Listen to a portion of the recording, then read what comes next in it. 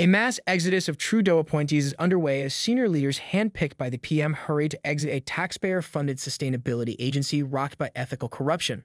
One by one, the chair, CEO, and directors of the Sustainable Development Technology government agency selected by Trudeau are abandoning ship following damning investigations into misconduct.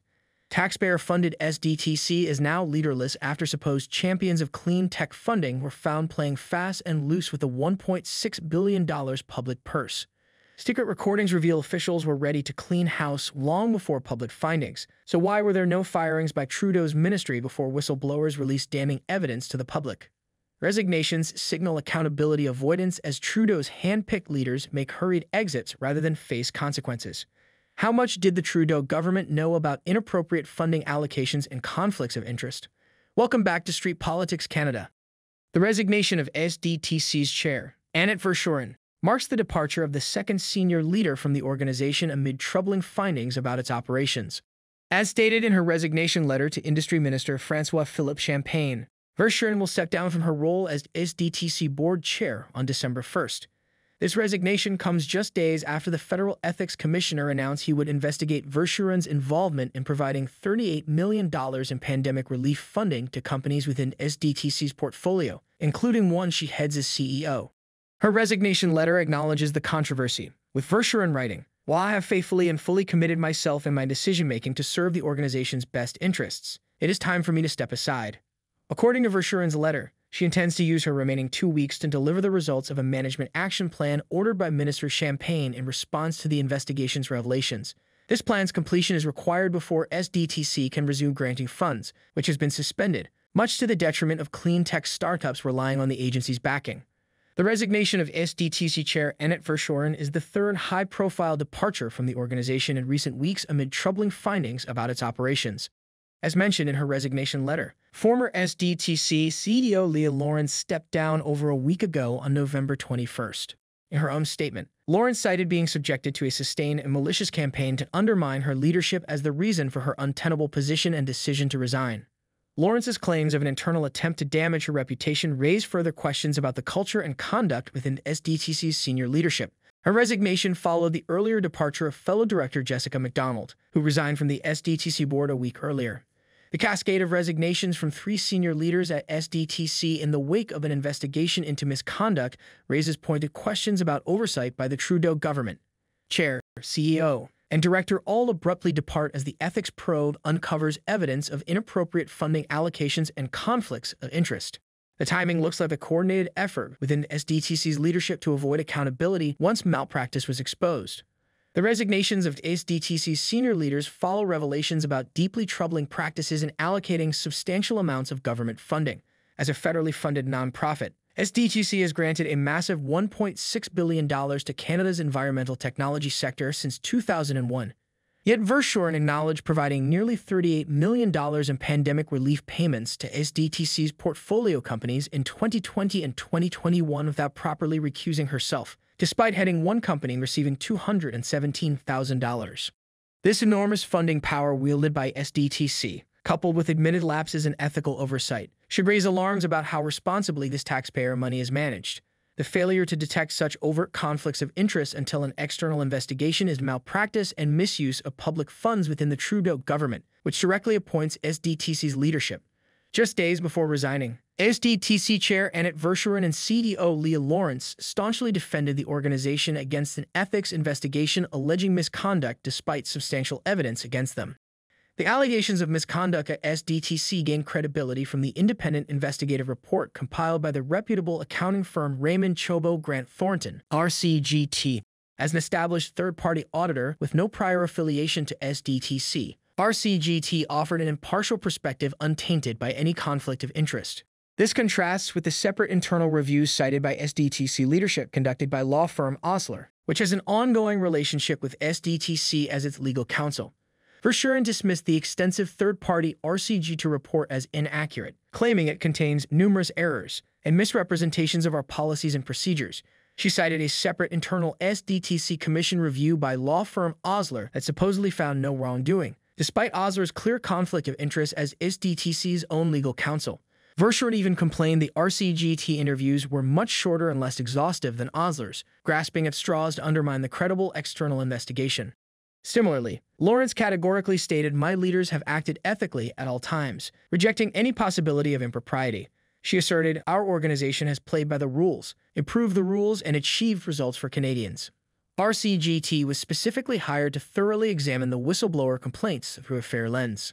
As industry ministry spokesperson Sean Benmer confirmed, the department hired a reputable firm to conduct a thorough fact-finding exercise.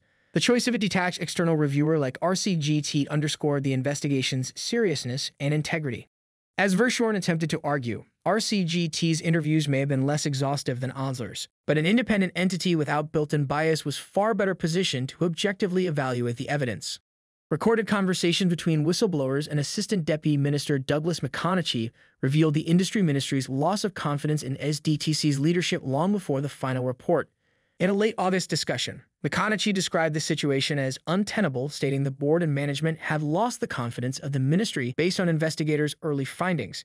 He bluntly said there has to be a cleaning of house. McConnachie expected Minister Francois Philippe Champagne would flip out upon learning details of the misconduct uncovered saying the board does not have our confidence, and the board, the current board anyway, is not going to be in a position, and the management for that matter, to remediate the problems that have been identified. He suggested bringing in outside caretaker management on an interim basis to replace the tainted leadership.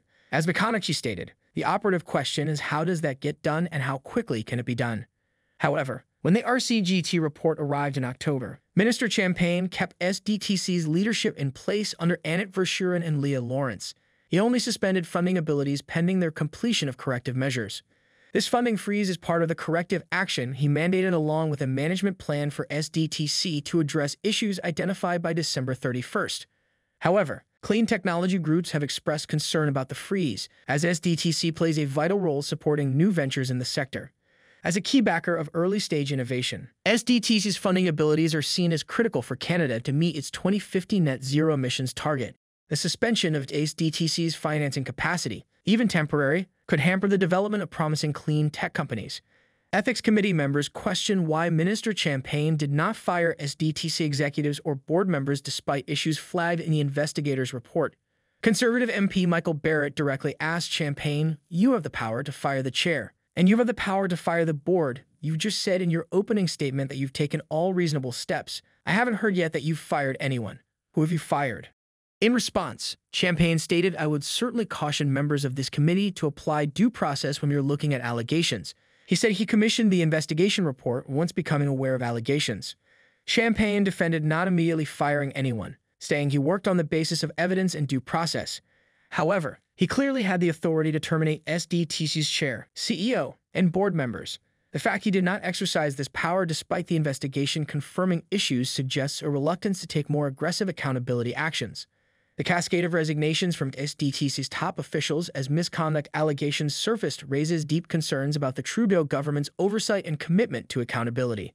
Despite clear evidence from an independent investigation of inappropriate funding allocations and conflicts of interest, Minister Champagne notably did not exercise his power to terminate the responsible chair, CEO, and directors.